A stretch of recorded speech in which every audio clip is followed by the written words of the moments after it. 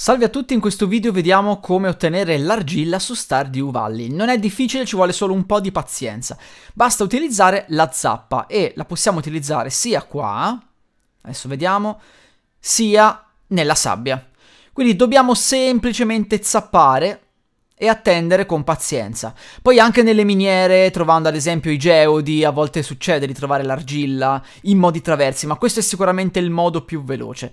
L'unico problema è appunto che non è facile ottenerne tantissima in breve tempo, ecco, come potete vedere ancora non ne ho ottenuta una, eccone una ora, a breve arriverà anche la seconda unità.